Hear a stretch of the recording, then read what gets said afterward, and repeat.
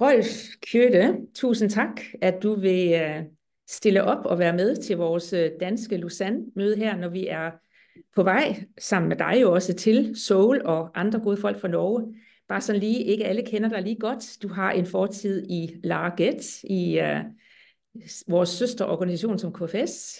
Du har en fortid som uh, generalsekretær i et lidt større selskab, men jeg har været generalsekretær i, nemlig Nordmission.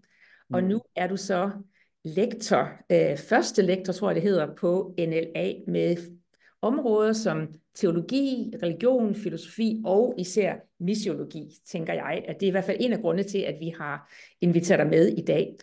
For Rolf, udover at være tilknyttet øh, NLA som første lektor, så er du jo også, jeg ved ikke om det er i din fritid eller hvad, men så er du i hvert fald en del af den gruppe, som er for, for europæisk side er med til at sige, hvad er det, der brænder på for os, når det gælder mission, og hvad er det for emner, som Seoul-konferencen kommer til at, at, at tage op, som særligt er relevant for os. Så Rolf, fortæl os lidt om, hvad det er for en, øh, en gruppe, du er med i der, og hvordan den, øh, hvad den arbejder med. Ja, først Bodil, tak for um, invitasjonen til å kunne presentere litt her på den viktige Lausanne-konferansen i eh, Danmark. Mm. Og eh, jeg kan jo ikke se noen av dere, men eh, det er helt sikkert en, en, en god samling. Og, men jeg hadde ikke anledning til å være der eh, fysisk. Så da skal jeg prøve å bidra litt herfra på det du spør om, Bodil. Nei, det er jo en For det første Lise skal vel ha en en presentasjon av uh, State of the Great Commission også i programmet som dere har litt senere. Mm. Men uh, det er altså en ganske omfattende analyse som gjøres av ganske mange eh, misiologiske deltakere rundt omkring i hele verden.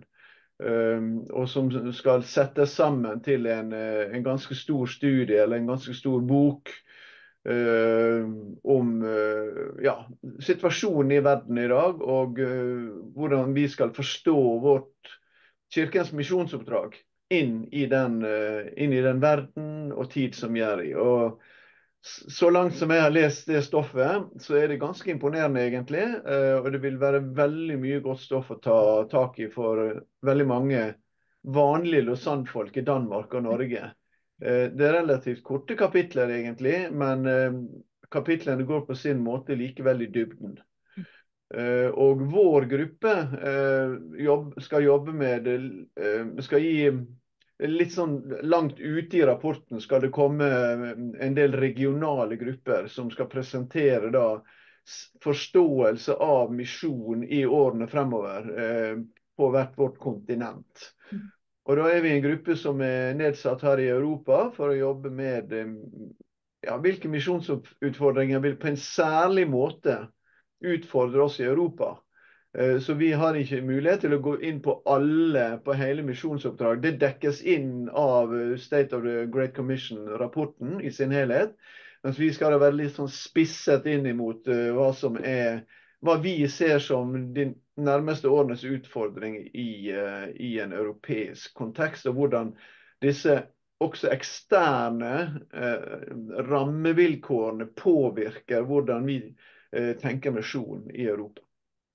Kunne du bare sådan lige, hvem, hvem er de andre, mener, hvem, hvem er det, du sidder sammen med? Vi, vi oplever jo på mange måder deg som vores repræsentant, men hvem er de andre, som sådan er med til å si hva er det brenner på i Europa? Ja, Det er jo da de to eh, lederne av uh, Lausanne Europa, uh, Usha Reifsneider og Jim Memory. Jim Memory jo, har jo vært misjonær i Spania og, og leder jo, er jo også underviser på Radcliffe College i misiologi og en svært dyktig uh, formidler. Han har også skrevet den rapporten i 2021 om, uh, om, Europa og status for Europa. Det interessante med den rapporten, eller var det i 2020 kanskje, det interessante med den, jeg hadde en lang uh, samtale med Jim for ikke så veldig lenge siden om det, det er at den er jo på mange måter fortsatt veldig aktuell. Og samtidig er den skrevet da under pandemien, så vi ser at det er en god del utfordringer som kanskje ikke er de samme akkurat i dag. Um, og så er det Usha Reifsneider som nylig eller i fjor gjorde ferdig en ph.d. Uh, innenfor misiologi og antropologi. Så er det Julia Garshagen fra Pontes institutt i uh, Tyskland. Som er et institutt som driver en god del med kristen samfunnsanalyse og dette med kommunikasjon inn da i, i en, den kulturen som danner Europa i dag. Eh, så er det Luke Greenwood, som er leder for Steiger og etablert i Polen. Har vært der i mange år. Har jo misjonær eh, barnebakgrunn fra Brasil. Og er på en måte prototypen på en del av den, den nye europeergenerasjonen. Eh, fra England, bor i Polen, har vokst opp i Brasil og bærer det multikulturelle med seg. Han driver jo, Steiger har jo et veldig viktig arbeid inn mot ungdomskultur. Hvordan kommunisere med den sekulære ungdomskulturen i Europa. Mm. Og så er den siste Janet Sewell, som er um, også da litt i teamet, egentlig. Uh, også en master i, i misiologi, men også i teamet uh, som har jobbet mye med, med Lausanne Europa og med Seoul-samlingen. Men hun har også da vært veldig aktivt i mange år i uh, nettverket for uh, ungdomsledernettverket Wild Gen. Mm og har jo selv en fortid som missionær i, øh, i Grekenland, så vidt jeg husker. Hun har også øh, fortid som misjonær i Grekenland, og er fra, Frank ellers fra Frankrike, England og Island, så hun føler seg også som en paneuropeer. Ja. Altså du, Rolf, altså nu, det er jo så jer, der ligesom sådan skal sige, hvad, hvad, hvad i The State of the Great Commission har særlig relevans for Europa? Ja. Hvis du nu så skulle prøve at, at zoome lidt mere ind på, øh, men Europa er stort, Europa er jo også mangfoldig og meget forskellig, selvom vi ikke er så geografisk så stort område måske, men, men dog mange kulturer osv. Hvad tænker du, øh, som vi, Danmark, Norge, Skandinavien og sådan noget, hvor er det det særligt øh, brænder på for os, eller hvad er det for nogle emner, du tænker, dem her, det må vi have fat i? Ja, vi har øh, vi har jo måttet samle oss om noen egentlig ganske få momenter, elementer som vi, som vi kan ha fokus på på den korte tekstplassen vi har, eller tekstområdet vi har fått plass på. Eh, men vi var fullstendig enige i komiteen at vi må ha et kapittel som, eh, som tar, tar, opp dette spørsmålet om sannhet og også tillit, altså trust. Både truth og trust. Eh, men disse to faktisk holdt sammen. og hvordan altså, tillit, vi, vi, har jo en tillitskrise. Vi har en veldig sterk tillitskrise rundt omkring i mange land i verden. Og, men faktisk veldig sterk i Europa. Eh, mm. mistro til eh, regjeringen f.eks. er veldig sterk også i Europa i dag. Det ser vi i mange politiske bevegelser. Men også mistro eh, til religiøse ledere og til religiøse institusjoner er veldig sterk.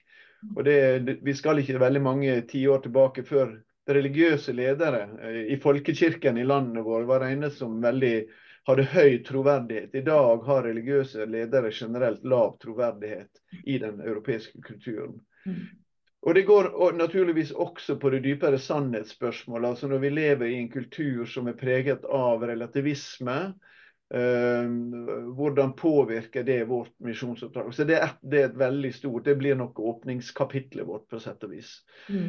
Uh, og det vil følges opp uh, også da at vi, vil, vi må si noe om, om det som vi kaller shift in morality. Altså det endrede, endrede forståelsen av moral og moralitet. og hvordan det også påvirker Bare det å drive misjon blir jo sett på som Eh, som eh, umoralsk. Mm, mm. Eh, så vi må på en måte forholde oss til en ny form for moralitet i, i samfunnet. Mm. Ja, det, det er iallfall de to første. Vil du skal ta alle nå, eller vil du gå dypere inn i noen av dem med en gang?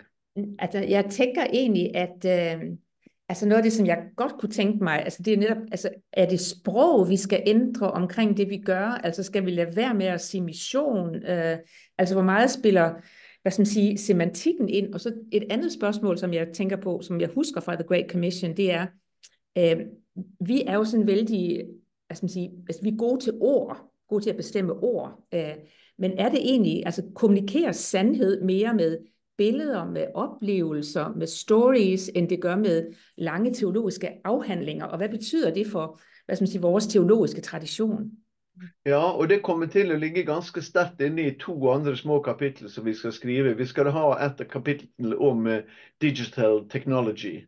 Mm. Uh, så det, hvordan både bruke det, men hvordan kommunisere, hvordan være offensive som kristen kirke og i en vitnesammenheng og en misjonssammenheng uh, på, på, det som er på mange måter kulturelt bestemmende kommunikasjonsplattformene i dag. Mm. Uh, og Der har vi en veldig lang vei å gå. og Det skrives, et, det skrives et kapittel om det med digital technology og hvordan vi kan ta hånd om det i misjonen på en bedre måte enn vi gjør i dag. Mm. Men jeg vil også nevne et annet kapittel som vi har om det samme, og det er det som handler om community. Fordi at vi lever jo altså, vi, Det er jo en ganske sånn paradoksal virkelighet vi lever i i Europa i dag fordi vi har altså halv uh, av befolkningen i Europa lever i by. Og urbaniseringen er økende. Uh, så vi lever tettere og tettere på hverandre. Uh, og samtidig Og så har vi jo en ekstrem digital kommunikasjon. Vi er veldig mye på sosiale plattformer. Som på en måte er vi i møte med veldig mange mennesker. Veldig mange mennesker kommer nær oss også der. Og samtidig så er det, gans, det er alarmerende høye tall i hele Europa på spørsmålet om ensomhet. Mm. Um, og, og en snakker om at uh, ja, iallfall 15% av befolkningen kanskje lider av en form for klinisk ensomhet uh, i, uh, i, uh, i, våre land. Og, en undersøkelse som, som Luke Greenwood har brakt frem, den viser at så mye som 50% av befolkningen kan gjennom et år oppleve stor grad av ensomhet. Mm. Ikke bare ensomhet, men stor grad av ensomhet. Men altså, mens altså kanskje 15-20% er, eller 20% er er klinisk ensomme og kronisk ensomme. Det, og det er et veldig stort område. Det er en veldig stor misjonsmulighet, tenk, tenker vi egentlig. En veldig stor misjonsmulighet, eh, men som vil utfordre Kirken til å tenke nytt om sin måte å leve i misjon på. Fordi at vi i veldig liten grad vil attrahere, vil tiltrekke mennesker til våre fellesskap eller til våre aktiviteter. Um, sånn sett er jo denne amerikanske megakirketrenden er jo over for lenge siden. Fordi at the, the, the, Seeker Sensitive Services er ikke svaret i, i, Europa i dag. Det er det heller ikke lenger i USA i stor grad. Uh, så, og Det betyr at Kirken må begynne å leve sin misjon. og Da kommer vi inn, inn, i dette begrepet som nå har levd en stund hos oss, Eh, nemlig om det at Kirken ikke bare skal drive misjon, men være misjonal. At vi skal leve ut Kristuslivet som fellesskap og som enkeltmennesker. og at at misjonsfronten blir i vårt hverdagsliv. Misjonsfronten blir ikke i kirkehuset og bedehuset eller misjonshuset. Det, men den måten kan, på den måten vil vi også bygge uh, nye fellesskap. og vil, Vi må utfordre litt av den måten vi tenker fellesskap på, for å gå ut og bygge fellesskap med alle de mennesker som Gud uh, har elsker uendelig mye i Europa. Så dette er et spørsmål vi er veldig opptatt av i, uh, i den korte rapporten vi skal skrive. Og der kan jeg godt tenke meg å altså spørre, ikke? det her, Inntil nå har det jo vært sånn mye og analyse af problemet, altså hvor er det ændringerne er, og hvor er det er. Øh, hvor meget, øh, eller bliver det noget, som vi skal gøre sammen i sol i stedet for, og hvad gør vi så? Altså når nu vi kender situationen, forstår problemet, øh, kender til ensomheden, ved at vi ikke skal tale mission, men være i mission, øh, hvordan ser det så ud? Er det noget, vi... Øh, altså er, er det noget, vi skal arbejde med, når vi kommer til Seoul, øh, eller hvor langt kommer vi i det her med ikke bare at forstå konteksten bedre, men, men også så, hvad gør vi så i den kontekst? Ja, det er vel en pågående prosess, tror ikke du det, Bodil? Altså, det er en prosess som vi må jobbe med i dag, nå. Uh, i forberedelsen til Seoul, for vår del som skal dit. da, uh, Eller for alle som skal være med på en eller annen digital plattform på, på møtet der. Så, så, er det litt av forberedelsen. Og, og denne her eh, denne, Jeg vet ikke helt når denne State of Global Commission skal være ferdig. men den er forhåpentligvis ferdig litt i forkant, og slik at vi kan, vi kan gå inn og studere det. Naturligvis må vi jobbe med det i Seoul. Men det er jo begrenset hva vi kan få jobbet med konstruktivt i løpet av fem eller seks dagers eh, sånn intens, uh, intens samling med foredrag og store seminar og små seminar. Uh, men litt av jobben gjør vi der. Men mesteparten av denne jobben vil jo ligge uh, når vi kommer hjem igjen. Og da ligger jo det et veldig stort ansvar på oss som skal være med på L4, den store kongressen. Eh, vi bruker en del penger på det, ja. Det blir en stor eh, big event og stor opplevelse. Men det viktigste Det har ingen betydning å samles i Seoul hvis ikke vi som reiser dit, tar med oss hjem igjen de utfordringene som, eh, som settes opp for oss. Både i prosessen nå, men også i Seoul. Og så er det, Den store jobben er å, er å ta, det, ta det hjemme etterpå. Og Da må vi bruke mye krefter på det, og for da må det også tas ned i handlingsplaner og strategier og spørre hvordan, hvordan går vi frem med dette. Da kan hende Norge og Danmark skal snakke sammen fordi at vi har en relativt lik kultur. Eh, og så må vi snakke sammen også i våre egne land eh, om det det vi kan gjøre i denne rapporten fra den europeiske siden, vi har såpass lite plass til rådighet at vi, vi, kan jo bare antyde i denne sammenhengen. Men vi håper at vi skal klare å antyde de gode spørsmålene som, som det må jobbes med. Og si noen viktige ting som det da må prosesseres videre. Gir det mening? Ja, ja, det giver rigtig meget mening, og derfor er det jo egentlig også, altså du, du, vi, vi lægger jo et kæmpe pres på os selv og hinanden i forhold til, at vi, vi tager afsted. At øh, dels, øh, hvis ikke vi møder vældig godt forberedt op øh, til Soul, øh, så bliver det svært at se, hvad det er, man skal have ud af, af Soul. Altså man, man får, man får være bevidst omkring, hvad er det for grupper, jeg skal melde mig ind på, hvad er det for emner, jeg skal være optaget af allerede. Den, den, de spørgsmål skal man have stillet sig som jeg forstår det, allerede inden vi når til soul. Og som du siger, øh, arbejdet med soul er, er bestemt lige så vigtigt på den anden side af soul. Altså, øh, og, og, og der kunne jeg godt tænke mig at spørge dig, øh, altså en ting er det ansvar, som den enkelte af os har i de konkrete sammenhænge, øh, som vi er. Øh, men du antyder også, at vi jo altså på en del områder øh, ligner hinanden, Danmark-Norge. Du, du snakker norsk, jeg snakker dansk. Det går jo an at kommunikere. Øh, tak, at du siger 75 og ikke 75. Øh, men men øh, øh, har, hvad, hvad tænker du, vi kan dels hvad skal man sige, øh, gøre hinanden øh, ansvarlige for, øh, og øh, hvad, hvad, hvad tænker du, vi kan hjælpe hinanden med, øh, når vi kommer tilbage fra Seoul? Og den vandring, som vi er på sammen, hvordan får vi den til å fortsette på en god måte? Ja, For det første så er jo det møtet som vi har nå, det er jo bare et eksempel på at vi har aktive og gode relasjoner allerede. Og disse relasjonene må vi holde fast med og bygge videre på. Mm. Eh, for det har vi i vår generasjon Bodil, og vi håper at slike generasjoner også skal bygges videre på i, i andre, altså i, i, i, yngre generasjoner som eh, skal ta dette videre på en enda sterkere måte enn du og jeg kan. Mm. Um, og du, nevnte lag og KFS her, og det er klart at dette er bevegelser som blir veldig viktige. og uh, Gjennom Lindsey Brown ble de også brakt veldig inn i hele Lausanne-bevegelsen. Hele IPS-systemet er jo en del av det. Men det er, det er bra, det er ingen tilfeldighet. fordi at uh, vi, har, vi, står overfor et utdannet Europa. Vi, vi behøver å ha eh, en, eh, vi behøver ha gode relasjoner. Eh, ikke bare i Skandinavia, også i Europa som helhet. Men, men noen land er mer ulike, noen land er mer like. og som, de, som skandinaviske land så har vi i alle fall en del felles. Mm. Og, eller som nord- og nordvesteuropeiske land så har vi ganske mye felles. og mm. Og Der er jo Lausanne-bevegelsen veldig viktig på den måten at den har den har vært veldig god eh, altså Den har vært en veldig viktig arena å bygge relasjoner. Mm. Så mye av min, mye av min, min teologiske, eller iallfall min misiologiske forming har skjedd i møte med mennesker i Lausanne-bevegelsen. På ulike arenaer, på ulike plattformer, i ulike generasjoner. Men jeg har venner, jeg har kolleger. Det, det, det er så mange jeg kan spille på. Det, det å bruke Lausanne-bevegelsen som et ressursnettverk der andre kan få bety noe for oss.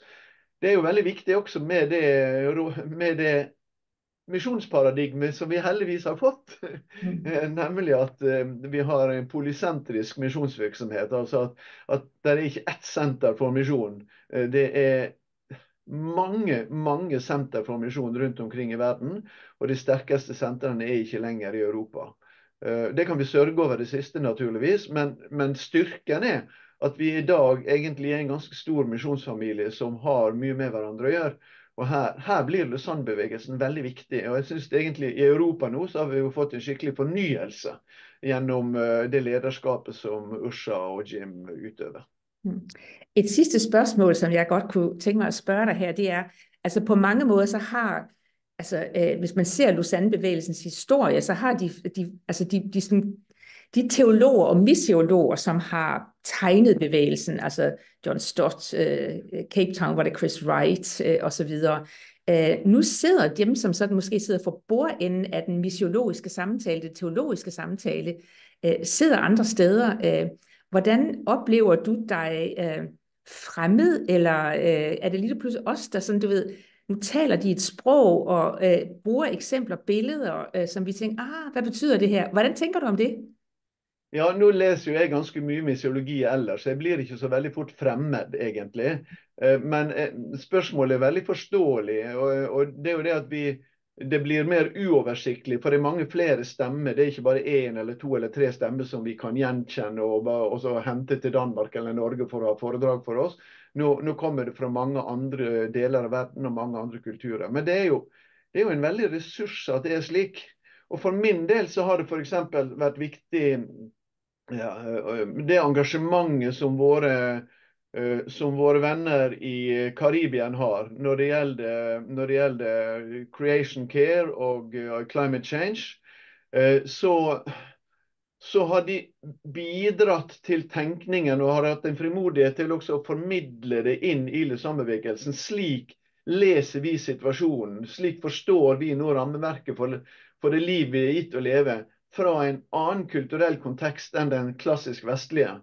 Uh, og så har de gitt meg da impulser tilbake til å jobbe med min teologi, f.eks. Jeg har jobbet ganske mye med spørsmålet om, om uh, climate change, eller klimaendring, og, og, og creation care. Uh, og, og, dette med bærekraft. og når jeg var ung, så jobbet jeg jo med dette litt sånn politisk. Jeg var aktiv politisk. Men i dag så prøver jeg å jobbe med det. Hva betyr det for oss i misjon? For jeg kan ikke være likegyldig til det mine trossøsken eller det fattige mennesker rundt omkring i verden måtte oppleve som konsekvenser av det europeiske overforbruket. Og det, det, er teologisk, det er ikke bare et politisk spørsmål, det er også et teologisk, åndelig og misiologisk spørsmål. Og Jeg har fått hjelp til å gjennomtenke det gjennom f.eks. mine venner i, i Karibien. Så slik, slik fungerer det fellesskapet, iallfall her for meg. og Jeg tror at det skal vi klare å utvide og styrke også gjennom det vi skal oppleve sammen i Seoul og i prosessen rundt dette. Jeg synes jo, det her er et, et veldig godt sted å, å, slutte vores samtale. Det er jo den der med å møte opp både i forberedelse til soul, men også i soul, og være så nysgerrig altså på det som jeg ikke har hørt før.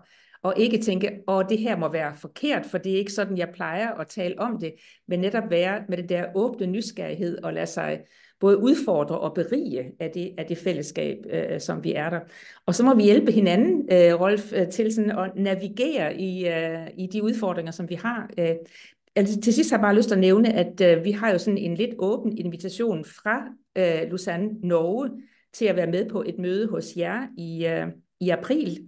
Ja. Øh, og tak for jeres generøsitet til at, at lade os komme, og tak fordi du vil være med øh, nu her til at og starte den fælles samtale på vej mod øh, Seoul. Øh, vi glæder os til at fortsætte, og tak for dit arbejde med øh, The State of the Great Commission, og, og hjælpe os til at få den hjem på vores banehalvdel og se, hvordan den øh, udfordrer og beriger og øh, øh, ja, gør, gør Guds mission større for os, for det er jo det, der sker, når vi møder de andre. Øh, vi bliver ikke skræmte, vi bliver, øh, vores familie bliver rigere.